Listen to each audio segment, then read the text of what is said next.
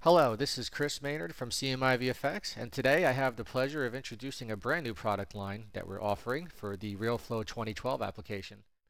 This video will cover the new functions inside of RealFlow 2012, the multi-body and multi-joint, as we see in the menu coming up. This video will also be uh, double the normal length of any traditional CMI VFX video. It has the capabilities of bringing several different kinds of artists together. Anywhere from experienced to non-experienced artists will be able to train at the same level. This video product came to birth from Hashem Ashad, who is one of our previous mentors in another video series, which is uh, completely complex. And we went through the idea of taking a lot of difficult knowledge and trying to bring it to the masses. And what happens here is uh, a lot of tools have standard destruction tool sets which allow for semi-believable shots.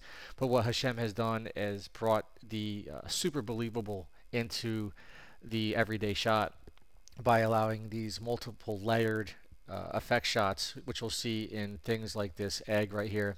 What happens is, is we'll show you how to destroy things in any one of your applications, uh, 3ds Max, Maya, and Houdini, and we'll be able to show you the interoperability between RealFlow and its tools. The detail in the shots that you're going to see inside of this video are impeccable the multiple layer destruction tactics is got to be one of the most incredible features uh, ever done on a training video, if not the best done in a training video.